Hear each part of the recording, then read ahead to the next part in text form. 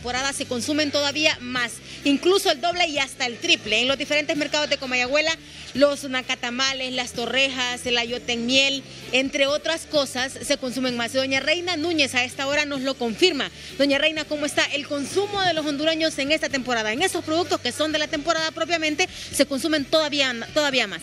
Todavía, mire, porque esta, la gente ahorita, como todas las cosas están caras, y gente mejor las quiere comprar porque sale mejor a veces. Si usted habla con dos personas, se imagina, mejor los hace. Pues nosotros hemos estado vendiendo nacatamales de pollo, de cerdo, torrejas, ayote de miel y la comidita, desayunos y almuerzo y la sopa, ¿verdad? Los costos de los productos de la temporada, nacatamales, torrejas y ayote, ¿qué cuestan? Mire, el ayote cuesta 20, las torrejas 20 y los nacatamales valen 20. Todo está cómodo. Sí, está cómodo, está a la mano de todos los clientes. ¿Qué horas atiende hoy, doña Hoy voy a atender hasta las 3, 3 y media por ahí, por lo menos, aquí en el comedor Voz de Dios. Sí, usted puede ver, pues aquí las tenemos.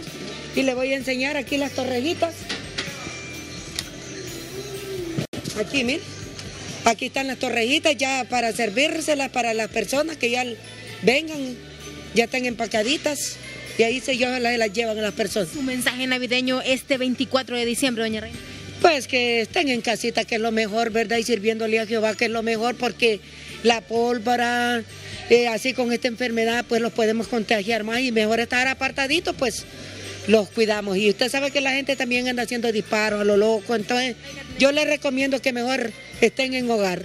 Sí, aquí esperándolos pues con la sopita, sopa marinera, de res, tapado, garrobo, de pollo, frijoles, cangrejo y comida seca todos los días. Solo vamos a estar, no vamos a trabajar sábado 25 y el primero, y ahí estamos sirviéndole todos los días y lo espera Reina Núñez del Comedor Voz de Dios. Muchísimas gracias, doña Reina Núñez del Comedor aquí en el mercado Jacaliapa. Y es importante también preguntarle a la población cómo la está pasando, cómo está divirtiendo y qué es lo que está consumiendo, qué es para ellos importante en esa temporada navideña. Y vamos, aunque sea, a pedirles un saludito aquí y un mensaje navideño, mi amigo, consumiendo aquí en el mercado Jacaliapa. ¿Qué consumió el día de hoy? No, echamos un desayunito ahorita, frijolitos, arrocitos. Venir al mercado Jacaliapa es una experiencia que agrada, agrada navideño en este pleno 24 de diciembre?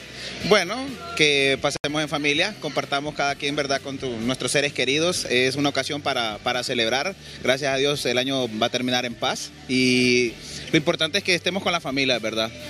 Muchísimas gracias. El mensaje es puntual. Lo más importante este 24 de diciembre, también el 31, lo que resta de los días del año 2021 y obviamente un 2022, convivir con la familia. Eso es lo más importante. ¿Por qué?